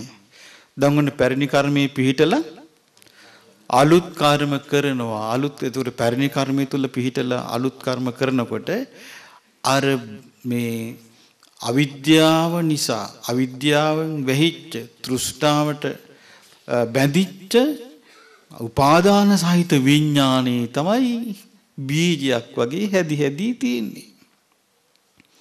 එතකොට මේ බීජයක් වගේ හැදි හැදී තියෙන විඥානේ තමයි චුත වෙන්නේ. එතකොට මේ බීජයක් වගේ හැදි හැදි තියෙන විඥානේ චුත වෙනකොට මොකද වෙන්නේ? බුදුරජාණන් වහන්සේ දේශනා කරන කම්මං කෙත්තං විඥානීය බීජයක් වගේ විඥාන යන්නේ කොහෙද? කුඹුරේ. කුඹුර මොකද්ද හදපු? කර්මය. විඥානම් බීජං. විඥානේ තමයි පැලවිලා තියෙන්නේ. තණ්හා සිනේහෝ තෘෂ්ණාව තමයි තෙත් කරලා දෙන්නේ. කුඹුර වේලිලා නම් කොච්චර සාරවත් බීජයක් දැම්මත් පැලවෙන්නේ එතකොට බීජය කියලා කියන්නේ ආහාර සහිත විඥානයයි. බීජය කියලා කියන්නේ මොකද්ද? ආහාර සහිත විඥානය කියලා කියන්නේ රාගයෙන් යුක්ත විඥානයයි. බුද්ධ දේශනාවේ තියෙනවා අතිරාග කියන සූත්‍රයේ යම් තැනක යම් විඥානයේ කෙරෙහි රාගයේ ඇද්ද ඒ විඥානයෙහි නාම රූප බැසගනී. රාගයේ යම් තැනක ඇද්ද එතන ගැටීම තියෙනවාමයි. යම් තැනක රාගය ඇද්ද එතන මුලාව තියෙනවාමයි. එතකොට යම් තැනක රාගේ නැද්ද? එතන මුලාව තියෙන විදියක් නැහැ. එතන ගැටීම තියෙන විදියකුත් නැහැ. අත්තිරාග කියන සූත්‍රයේ තියෙනවා මහණෙනි යම් රාග සහිත විඥානයක් දෙකට කියම ආහාර සහිත විඥාන කියන්නේ. ආහාරය කියන්නේ පෝෂණය. පෝෂණය වෙන විඥානය. ඒතර පෝෂණය වෙන්නේ මොකෙන්ද? කෙලෙස් වලින්. විඥානයේ ඇද්ද ඒ විඥානය බුද්ධ දේශනාවේ තියෙනවා. ඒ විඥානයේ වැඩෙන විඥානයක් කියනවා. ඒක පැලවෙන එක. ඒක බීජයක් වගේ එකක්. ඒ වැඩෙන විඥානය තුල නාම රූප බැස ගන්නවා. එතන නාම රූප බැසගන්නේ කොහෙද? ආර වැඩෙන විඥානය තුලයි. එතකොට මේ නාම රූප තුල තමයි ආයතනය බැසගන්නේ. එතකොට මේ ඇහැ බැසගෙන තියෙන මොකේද? නාම රූපේ. කන බැසගෙන තියෙන්නේ නාම රූපේ. නාසය බැසගෙන තියෙන්නේ නාම රූපේ. දිව බැසගෙන තියෙන්නේ නාම රූපේ. කය බැසගෙන තියෙන්නේ නාම රූපේ. මනස බැසගෙන තියෙන්නේ නාම රූපේ. නාම රූපේ බැසගෙන තියෙන්නේ විඥානයේ. විඥානයේ ආහාර සහිතයි. එතකොට ඒ විඥානයේ තමයි මේ ඇහි වැඩ කරන්නේ. කණී වැඩ කරන්නේ, නාසය වැඩ කරන්නේ, දිවි වැඩ කරන්නේ. ඒ විඥානේ උපාදාන සහිතයි. දැන් රහතන් වහන්සේගේ විඥානේ උපාදාන රහිතයි. උපාදාන රහිත උනේ තණ්හා නිරෝධා උපාදාන නිරෝධෝ. තෘෂ්ණාව නැති නිසා. තෘෂ්ණාව නැති උනේ අවිද්‍යා නිරෝධා තණ්හා නිරෝධෝ. අවිද්‍යාව නැති නිසා තණ්හාව නැති උනේ. අවිද්‍යාව නැති උනේ චතුරාර්ය සත්‍ය අවබෝධ වීමෙන්. එතකොට චතුරාර්ය සත්‍ය අවබෝධ කළේ යෝනිසෝ මනසිකාරයෙන්. යෝනිසෝ මනසිකාරය ආවේ සද්ධර්ම ශ්‍රවණින් සද්ධර්ම ශ්‍රවණේ ලැබුණේ කල්යාණ මිත්‍රයාගෙන් බුදුරජාණන් වහන්සේ. එතකොට බුදුරජාණන් වහන්සේ නමක් බුදුරජාණන් වහන්සේ තමයි පරම කල්යාණ මිත්‍රයා. එතකොට මේ බුදුරජාණන් වහන්සේගෙන් සද්ධර්ම ශ්‍රවණය කළා. මේ සද්ධර්ම ශ්‍රවණී තමයි යෝනිසෝ මනසිකාරයෙන් ආවේ. එතකොට බුද්ධ දේශනාවේ තියෙනවා මේ මේ යෝනිසෝ මනසිකාරය ඒ පෙර භවයේ දිනු කරපු කෙනා තමයි ඒක අල්ලගන්නේ. එතකොට මේ බුදුරජාන් වහන්සේ පටිච්ච සමුප්පාද දේශනාව කළාම අසීල කස්සප කියනවා ස්වාමීනි. කලින් ස්වාමීනි කිව්වේ නෑ. කලින් කිව්වේ බවත් ගෞතමයන් වහන්සේ කියලා. දැන් කියනවා ස්වාමීනි මනස්කාන්තයි. ස්වාමීනි මනස්කාන්තයි. ස්වාමීනි යටට හරවා තිබිච්ච දෙයක් උඩට හැරෙව්වා වගේ. වැසූ තිබුණු දෙයක් ඇරලා පෙන්නුවා වගේ ඇස් තියෙන කෙනෙක් කරවලේ යද්දී රූප දකිත්වා කියා තෙල් පහනක් දැරුවා වගේ. මේ වගේ බුදුරජාණන් වහන්සේ ධර්මයේ දේශනා කළ මම මේ ධර්මියත් භාග්‍යතුන් වහන්සේවත් ශ්‍රාවක සංඝයාවත් සරණ යනවා. ඊට පස්සේ කියනවා අනේ ස්වාමීනි මව මහාන කරගන්න කියනවා. මට මේ පැවිදි උපසම්පදාව දෙන්න කියනවා. ඒතර බුදුරජාණන් වහන්සේ වදාලා. ඒතර මේ ඔක්කොම දැන් මේ බුදුරජාණන් වහන්සේගේ මේ දේශනාව පටිච්ච සමුප්පාද ධර්මයේ ගැන මේ කරන කතා බහ ධර්මශාලාවක මේ වගේ පුටුවක වාඩි වෙලා උන්වහන්සේ මේ වගේ ආචේල කස්සට ප්‍රදේශනා කරපු එකක්ද ගහක් යටද මේ මහ වීදියේද? මහ වීදියේ පාරේ සිද්ධිය වෙච්ච එක. මේ පාරේ මහ පාරේ. කියනවා කස්සප ඔබ වෙන ආගමක වුණු කෙනෙක්. ඔබ මේ ධර්මයේ විනයට කැමති නම් මහානකමට කැමති නම් මාස 6ක පරිවාස කාලයකට යටත් වෙන්න වෙයි කියනවා. ඒ කියන්නේ මාස 6ක් සංඝයා අතර ඉන්න ඕනේ පැවිද්දෙක් නොවි පැවිදි විදියට ඉන්න ඕනේ. ඒ මාස 4. එතකොට සංඝයා කැමති වුණාම පැවිදි වෙන්න පුළුවන් කියනවා. එතන කියනවා අනේ ස්වාමීනි මම පෙර වෙන ආගමක හිටිය හැබෑව මං මාස හතරක් නෙවෙයි මං අවුරුදු හතරක් ඉන්නම් කියනවා. මට මේ මං කෙරෙහි පහදින්න සංඝයා මම පැවිදි කරනවා නම් අචේල කස්සප භාග්‍යවතුන් වහන්සේ ළඟ මහාන වුණා. අචේල කියලා චේල කියන්නේ වස්ත්‍රය. අචේල කියන්නේ වස්ත්‍ර නැති කස්සප භාග්‍යවතුන් වහන්සේ ළඟ පැවිදි වුණා.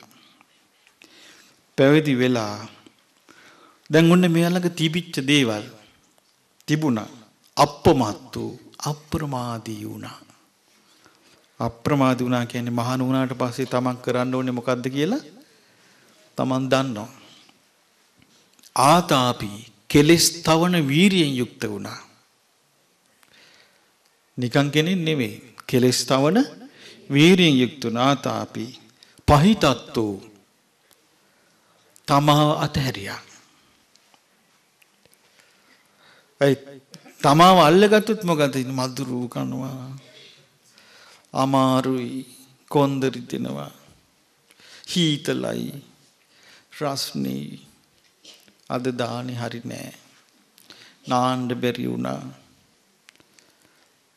දාඩියයි. මේ ඔක්කොම තියෙන්නේ මොකක් වටාද? තමා වටා. තමා වාතහැරියා මේ මොකවත් Tamanට අදාළ නෑ. පොඩ්ඩක් ආපු දෙයකින් යපුණා. රස්නිය අදාළ නැහැ. සීතල අදාළ නැහැ. දේශගුණිය අදාළ නැහැ. ගහ යට දෙපට සිවුරින් තුම්පට සිවුරින් කිසි ප්‍රශ්නයක් නැතු ඉන්න පුළුවන්. ලැබිච්ච කෑමේ ලුණු තිබ්බද නැද්ද හීතලද රහනේද මුකුත් අදාළ තමව අතෑරියා. පහිතත්තු විහෙරන්තු එහෙම වාසය කරා දින චිරස්සේව යත්තස්සාය කුල පුත්තා යම් අර්ථයක් පිණිස කුල පුත්‍රයෝ ගිහිගෙයි නික්මී මනාකොට පැවිදි බව ලබයිද? ඒ අර්ථය වන බඹසරෙහි කෙලවර බඹසරෙහි කෙලවර කියන්නේ එතන යන්නේ එහා තනක් නෑ. මෙලෝදීම කෙලවර අද්දුටුවා මොකක්ද ඒ කෙලවර අරහත්ය. කොහොමද අද්දුටුවේ? සයන් අභිඤ්ඤා Tamangeema Taman තුළ උපදවාගත්තු ඥාණයෙන් අභිඥා කිව්වේ අවබෝධය කරා ගෙන යන විශිෂ්ට වූ ඥාණයෙන් අවබෝධ කරගත්තා. එතකොට මේ එහෙම කරගෙන Brahmacharya කෙලවර සාක්ෂාත් කළේ ඊළඟ ආත්මකට ගෙනියන්න දෙයක් නෑ.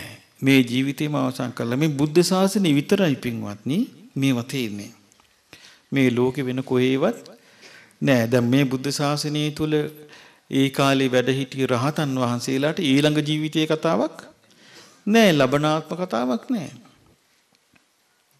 දැන් සාමාන්‍යයෙන් ගත ගත කරන කෙනෙකුට තමයි ලබන ආත්මේ ඊළඟ ආත්මේ ඊළඟ ආත්මේ කතාව තියෙන්නේ. මේකේ Brahmacharya අවසානයේ සාක්ෂාත් කළා. සච්චිකත්තා උපසම්පජ්ජ විහාසී සාක්ෂාත් කොට එයට පැමිණ වාසය කළා.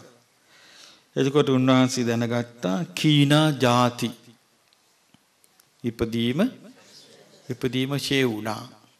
ඉපදීම ෂේ වෙන්නේ හේතුවක් නැතිවීමෙන්. මොකද්ද ඉපදීම ෂේ වුණා කියන්නේ? භවයේ ෂේ වුණා. ඉපදීම නැති වෙන්න නම් භවය නැති වෙන්න ඕනේ. භවය නැති වෙන්න නම් තෘෂ්ණාව නැතු උපාදාන නැතු යන්න ඕනේ. උපාදාන නැති වෙන්න නම් තෘෂ්ණාව නැති යන්න ඕනේ. තෘෂ්ණාව නැති යන්න නම් විදීම නැතු යන්න ඕනේ. විදීම අවිද්‍යාව සහගත විදීම නැතු යන්න ඕනේ. කියන්නේ අවිද්‍යාවෙන් හටගත් යමක් තියෙනද ඔක්කොම නැතු යන්න ඕනේ. එහෙනම් මොකද්ද නැති වෙලා තියෙන්නේ?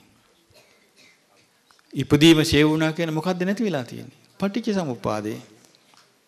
පටිච්ච සමුප්පාදේ නැති වුණා.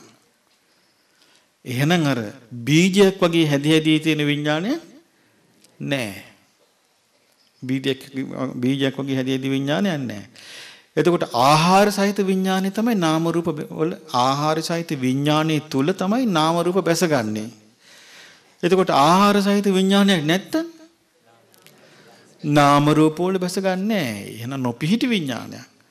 පිහිටල නැත්තම් කොහෙවත් ඒ විඥානයේ තුල මුකුත් බැසගන්නේ නැහැ. එතකොට නාම රූපයේ තුල විඥානයේ තුල නාම රූප බැසගන්නේ නැත්තම් නාම රූප තුල බැසගන්න කියලා නාම රූපයක් නැහැ.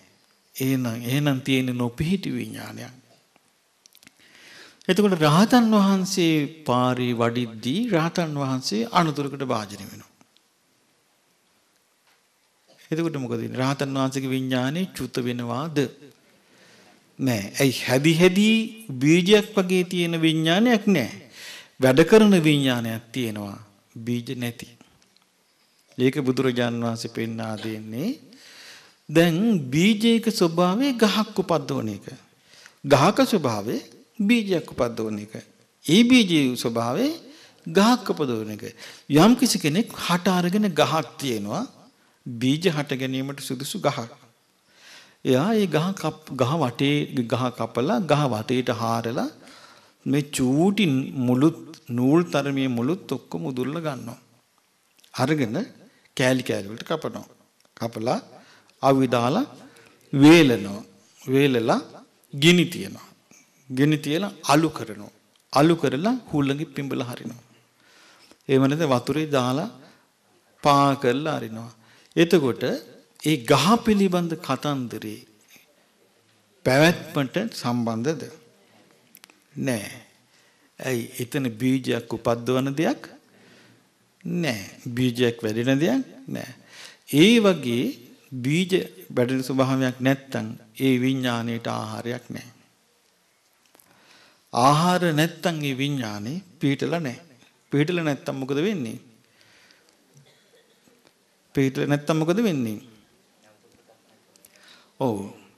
එතකොට ඒක බුද්ධ දේශනාවේ සඳහන් වෙනවා මේ විඥානේ පිරිනුවම් පානවා. ඒක බුද්ධ දේශනාවේ තියෙන කොහමද? මේ විඥානේ පහනක් පහන් දැල්ල නිවි යන්නේ යම්සේද? නිවි යනවා. එතකොට මේ වගේ විඥානේ නිවි යන තුරු මේ සත්වයාට විසඳුමක් නැහැ. බුදු කෙනෙක් පහළ වෙලා මේ කියා දෙන තුරු බ්‍රහ්ම ලෝකයේ බ්‍රහ්මයෙකුටවත් විසඳුමක් නැහැ. එතකොට බුදුරජාණන් වහන්සේ මේ කාරණා කියා දුන්නට පස්සේ තමයි බ්‍රහ්ම ලෝකේ බ්‍රහ්මය පවා මේ චතුරාර්ය සත්‍ය අවබෝධ කළේ. දිව්‍ය ලෝකේ දෙවිවරු අවබෝධ කළෙත් ඒ බුදුරජාණන් වහන්සේ දේශනා කළාට පස්සේ. එතකොට බුදුරජාණන් වහන්සේ දේශනා කරපු නිසා මිනිස්සු මේ ධර්මය අවබෝධ කොළේත්. ඒකයි මේ ධර්මයට බෝධි කියලා කියන්නේ. එතකොට මේ ධර්මයට අபிසම්බෝධි කියන්නේ බුදුරජාණන් වහන්සේගේ අවබෝධයට උන්වහන්සේගේ සම්බුද්ධත්වයට. බුදුරජාණන් වහන්සේ ඒකනේ දවසක් මේ නාගසේන මහරහතන් වහන්සේ බිලිඳු රජුරවන්ට කියනවා රජතුමනි සාගර ජලයේ මැද්දෙන් වතුර දෝතක් අරගෙන කවුරු කිව්වොත් මේකේ මේ මේ මේ මෙච්චර ප්‍රමාණයක ගංගා ජලයේ තියෙනවා මෙච්චර යමුනා ජලයේ තියෙනවා මෙච්චර සරබූ මහි අචිරවතී කියන ගංගාවල ජලයේ මෙච්චර ප්‍රමාණයක් තියෙනවා කියලා ඒක විස්මිත වඩා නෙවෙයිද කියලා. ඒකේ විස්මිතයි කියනවා. ඊටත් වඩා හරි පුදුම හරිම විස්මිත හරි ආශ්චර්ය, හරි අద్భుත දෙයක් භාග්‍යතුන් වහන්සේ කළා කියනවා. ඒ තමයි කියන මේ එකට තියෙන දේවල් මේක සංඥාව, මේක විඥානෙ, මේක චේතනාව, මේක ස්පර්ශය කියලා මේ සියල්ල වෙන් වෙන් කරලා පෙන්නපු එක. ඒක විස්මිත දෙයක් නෙමෙයිද? දැන් මෙහෙම රටාවක අපි වුණා කියලා මෙහෙම රටාවක අපි ඉන්නේ කියලා අපි යන්තම්වත් දැනගෙන හිටියද? අපි දැනගෙන හිටියේ කොහොමද? දැන් මේ ලෝ ජීවිතය අපි ජීවත් වෙන සමහර කියනවා මට නම් ඉතින් කිසි ගැටලුවක් නැහැ. දැන් ඉතින් ළමයි ටික හොඳට ඉන්නවා. දැන් ඉතින් මම මලත් කමක් නැහැ කියනයි නේද?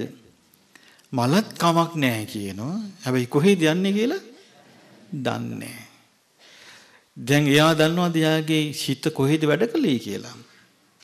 සමහරට මට මේ ළමයි ටික ඉන්නවා මේ කමක් නැහැ කියනවා. සමහරට හිත තියෙන එක්ක මුණුපුරා ළඟ. එක්ක මිනිබිරී ගව. මැරිච් එකම රිංගනවා ගිහිල්ලා ඒ ඇඟට. මැරිච් එකම මිනිබිරී ඇඟට රිංගනවා. එක්ක මුණුපුරාගේ ඇඟට රිංගනවා. කොච්චර තියෙනවද එහෙම ප්‍රශ්න? එතකොට කර්මානුරූපව හැදිලා තියෙන්නේ එතනට යන්නේ. කියන්නේ මැරිච් එක මං යා භූතෙක් වෙන්නේ. භූතය තමයි රිංගන්නේ. එක්ක පෙරේතෙක් වෙනවා. පෙරේතෙක් වෙලා දැන් ඔන්න මෙහින් චුත වෙනවා. චුත වෙනකොටම එයා එක්ක පෙරේතයා. දැන් සාමාන්‍යයෙන් ගත්තොත් එහෙම මේ මැරිලා චුත වෙන අය මලකුණෙත් ඉන්නවනේ. අයි බුද්ධ දේශනාවේ තියෙන්නේ අභිනය පිටකේ තියෙනවනේ අර සොහොනක භික්ෂුවක් සිවුරක් ගන්න ගියපු වෙලාවේ මලකුණ නැගිට්ටනේ. දීපීම ගිය වස්තරය කියලා. එතකොට බලන්න.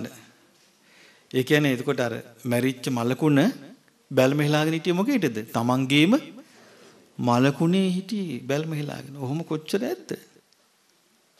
ඉතින් මේ ජීවිතයේ තමන්ගේ ශරීරයට අධික ආශාවකින් කෙනෙක් ඉන්නවා කියමු. දැන් මෙයා මැරෙනවා. දැන් මෙයාට තමන්ගේ ශරීරය දාලා යන්න අදහසක් නැහැනේ. මැරුණාට පස්සේ කොහෙද ඉන්නේ යා ගිහින්? මලකුණේ. පෙරේතය ඇවිල්ලා මලකුණ වැළඳගෙන ඉන්නවා. නේ මගේ මේ ලස්සන ශරීරය කියලා. එතකොට ඒක තමයි ගිහිල්ලා පුච්චන්නේ කට්ටිය. එතකොට මේ පෙරේතය වෙලා හිවිච්ච වැළපෙන ඉතින් අනේ මගේ ශරීරي පුච්චනවා කියලා. ඉතින් ඒ වගේ අර ලාබාල හිත තියෙන, පටු හිත තියෙන යෝනිසෝ මනසිකාරේ නැති කෙනාට මේ දුක මිසක් දුකට නැවත නැවත වැටීම මිසක් අර වැසිකිළියේ පණුවා උපදිනවා වගේ. දැන් වැසිකිළියේ පණුවා උපදුනාට පණුවා දන්නවද මේ වැසිකිළියයි කියලා? පණුවා දන්නේ නැහැ. එතකොට අපි කියමු මේ මිනිස්සෙකුගේ ඇඟේ මිනිස්සෙකුගේ බඩවැලේ පණුවෙක් ඉපදිලා ඉන්නවා. මනුස්සව දන්නේ මම මේ ඉපදිලා බඩවැලේ මම මේ කෙනෙකුගේ බඩවැලේ පණුවෙක් වෙලා ඉන්නවා. මේ කෙනා හරි ලස්සනයි. පණුව දන්නවද ඒවා? පණුව මොකවත් දන්නේ නැහැ. පණුවට තියෙන්නේ දින ටිකක් කාලා ඉන්නයි. මැරෙන්න එකක්. එතකොට මේ වගේ තමයි මිනිස්සුන්ට ඉපද ඉපද ඉපද ඉපද යන්න තියෙන්නේ. මේකෙන් බේරෙන්න නම් පින්වතුනි Taman ළඟ තියෙන්නම ඕනේ යම් කිසි ප්‍රමාණයකට දසමයක් හරි. මොකද්ද? යෝනිසෝ මනසිකාරය. දසමයක් හරි යෝනිසෝ මනසිකාරය තියෙන දසමයක හරි ගිනි පුපුරක් තිබ්බොත් ගින්දර කවුල ගන්න පුළුවන්. දසමකවත් ගිනි පුපුරක් නැත්තම් කරුවලියම තමයි. ඒ නිසා තමන් ළඟයි ධර්මයේ අල්ලන එක හෝ ධර්මයේ අතාරීම හෝ තියෙන්නේ. එතකොට ඒක බාහිර කෙනෙකුට දෙන්න දෙන්න බෑ. ඒක තමන් ළඟ තියෙන එක. ධර්මයේ අල්ලගත්තොත් කෙනෙක් ඒ අල්ලගත්තු ධර්මයත් එක්ක තමයි තමන් කල්පනා කර කර දැන් මේ විදිහට නම් අපේ ජීවිතේ කර්මානුරූපෝ යන්නේ මම ඔබට තව කරුණක් කියන්න. පරිසම්පාදේ හරි විදිහට තේරුනොත් එයා ඉස්සෙල්ලාම සැලකිලිමත් වෙන්නේ මොකක් ගැනද? දැන් ඔන්න මං කිව්වා උපතක් කරා යන්න උපකාරද මං උපමාවක් පෙන්නුනා ඇක්සිඩන්ට් වෙන මිනිස්සයා ගැන. එතකොට ඒක මොකද්ද? එයා නිරේට යන්නයි සුගතිට යන්න හේතුනේ මොකද්ද? ආ හරියට පරිසම්පාදේ තේරුණා නම් එයා මොකෙන්ද පරිසම් වෙන්න ඕනේ? කර්මයෙන්. එයා අකුසලෙන් වළකින්න ඕනේ. ඒකයි සෝතාපට්ටි අංගවල විස්තර වෙන්නේ එයා බුදුරජාන් වහන්සේ කිරී පහදිනවා ධර්මයේ කිරී පහදිනවා ශ්‍රාවක සංඝයා කිරී පහදිනවා ආරේකාන්ත සීලයට එන්නේ කර්මය ගැන තියෙන අවබෝධය නිසා. එතකොට පටිච්චසමුපාදයේ තුල හරි විදියට එයාට ඥාණය ඇති වුණා නම් ඒ කියන්නේ එයාට හේතුඵල ධර්ම ගැන හරි විදියට තේරුණා නම් එයා ඊට පස්සේ කුසල් අකුසල් ගැන අවබෝධයකින් ඉන්නවා. කුසල් අකුසල් ගැන අවබෝධයකින් ඉන්න කෙනා අකුසලයට යන්න කැමති වෙන්නේ ඇයි දන්නවනේ අකුසලේ රැස් කළොත් ඒ විදිහට විඥානය හැදිලා යනවා කියලා. කුසලේ රැස් කළොත් තමයි පින රැස් කරගත්තොත් තමයි මේ විඥානේ මේ විදිහට යන්නේ කියලා දන්නවා. ඒ විඥාන මේ හේතුඵල ධහම දන්නේ නැත්නම් එයා දන්නේ මොකද්ද? එයා මේ රූපය ගන්නවා තමා කියලා. එයා හඳුන ගන්න දේ ගන්නවා තමන් කියලා.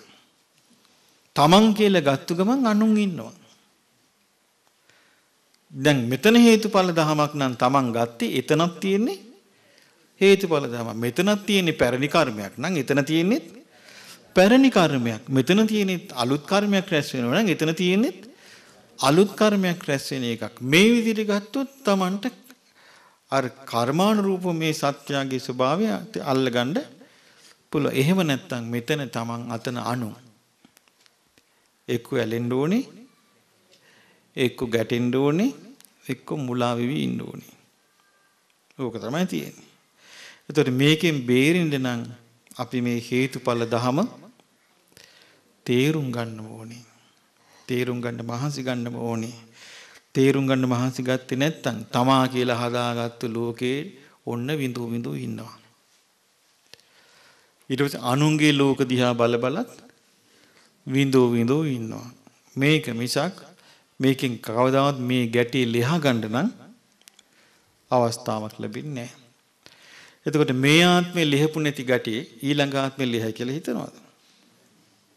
ඊළඟ ආත්මේ තවත් ගැට ගහලා ගියොත් හොයන්න පුළුවන්ද? බෑනේ. පෙර ආත්මේ දැන් කර්මයේ මේ ආත්මේ සාම ලබන ආත්මයට එන්නේ මේ ආත්මේ කරපු කර්ම විතරක් නෙමෙයි. බුද්ධ දේශනාවේ තියෙනවා කර්ම විපාකයේ තුන් අයුරකින් විඳ යුතුයි. කර්ම විපාකයේ තුන් අයුරකින් විඳ යුතුයි. එකක් තමයි ditta ධම්ම වේදනීය. ඒ කිව්වේ මෙලෝදී විදිනවා. දැන් ඔන්නේ මෙලෝදීමත් විඳින්න ඕනේ අපි සමහර කර්ම. තව කර්මයක් තියෙනවා. ඔව්. උපපජ්ජ වේදනීය. ඒ කිව්වේ ඊළඟ ආත්මේ විඳවන්න තියෙනවා. තව කර්මයක් තියෙනවා. අපරාපරිය වේදනීය නිවන් දකින්නකන් ඉඩ ලැබෙන අවස්ථාවේ පළ දෙනවා. මේ ජීවිතේ විපාක දීපු මේ කර්මයේ තියෙනවා. අපිකෙන් පෙර ආත්මේ තියෙනවා. නිරයට අපේ ගෙනියන කර්මයක් තාම විපාක නොදී. දැන් මේ ජීවිතේ අපි ප්‍රබල පිනක් උපද්දවගෙන නැත්තම් පෙර ආත්මයේ නිරේට ගෙනියන කර්මයේ ඉස්මතු වෙලා ආවොත් ඊළඟ ආත්මෙ කොහෙද යන්න වෙන්නේ? ආන් ඒ වගේ කම්ම විපාකෝ අචින්තියෝ මේ කර්මයේ විපාක දෙන විදිය අචින්තය නිසා මේකට සැලසුම් ගහන්න බෑ. මේක තියෙන්නේ ධර්මයේ ධර්මයේ තුලින්මයි මේක ගලපාගෙන මේ ගලපාගෙන යන්න තියෙන්නේ. ඒක ඉතින් නුවණින්ම කරන්න ඕනේ. ඒ යෝනිසෝ මනසිකාරයෙන්ම කරගන්න ඕනේ. වෙන කරන්න ක්‍රමයක් නම් වෙන කරන්න ක්‍රමයක් නැහැ. මේක බාහිර කෙනෙකුට දෙන්න බෑ.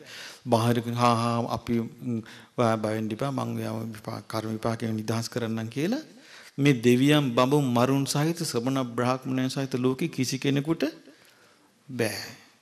ඔයා බයෙන් දිපා මං ඔයාව අතින් හරි අරගෙන යන්නම් මම තල්ලු කරගෙන යන්නම් කියලා ඒ ලෝකෙ කිසි කෙනෙකුට බෑ. මුලා කිරීමේ අදහසින් තොර හැබෑවට නම් කරන්න බෑ. හැබෑය ලෙස තියෙන්නේ තමාට තමාවත් නෑ කියලා බුද්ධ දේශනාවේ තියෙනවා. ඒ කිව්වේ තමන්ට තමාවත් නෑ කියන්නේ තමන්ට ඕන හැටියට මේක කරෙන්නේ නෑ කියන එකයි. ඊළඟට බුද්ධ දේශනාවේ තියෙනවා තමා විතරයි තමාට පිහිට. තමාට පිහිට තමා විතරයි. ඒ තමා විතරයි කියන්නේ මොකද්ද? තමන්ගේ යෝනිසෝ මනසිකාරය. තමන්ගේ වීරිය. තමන්ගේ සීය දැක්ක දාචීලක අස්සප පැවිදි වුණා. පැවිදුණාට පස්සේ අප්‍රමාදීව කෙලස්ථාන වීරියෙන් යුතුව කාය ජීවිත දෙකේ අපේක්ෂා නැතුව ධර්මයේ හැසිරුණා. ප්‍රතිඵල ගත්තේ නැද්ද? ප්‍රතිඵල ගත්තා. ඉතින් මේ කාලේ අපි පහදගෙන ඕනේ. අපි හිත පහදගෙන අපටත් මේ ගෞතම බුද්ධ ශාසනය පිළිසරණ ලබන්න වාසනාව ලැබේවා. සාදු.